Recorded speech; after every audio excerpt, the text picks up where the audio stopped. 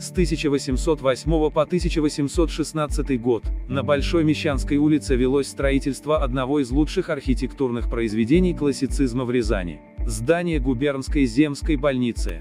Здание строилось по заказу приказа общественного презрения, губернского органа управления, который занимался учреждением и содержанием школ, аптек и больниц, госпиталей и приютов.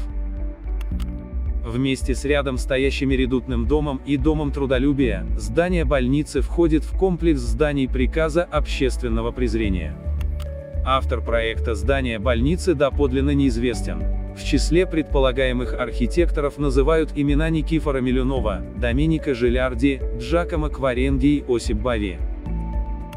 После постройки в здании находился военный госпиталь, затем училище для детей работников приказа. А с 1836 по 1917 годы здесь располагалась губернская земская больница для приема гражданского населения.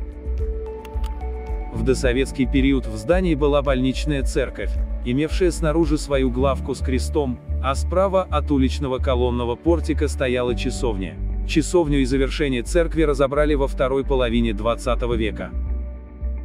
Также в здании была своя аптека, механическая прачечная, и даже паровая электростанция.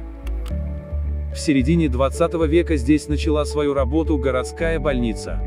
Изначально это была детская больница, которую затем сменила городская поликлиника номер 14. Последние годы ведутся активные работы по сохранению этого объекта культурного наследия федерального значения, где уже более 200 лет лечат рязанцев.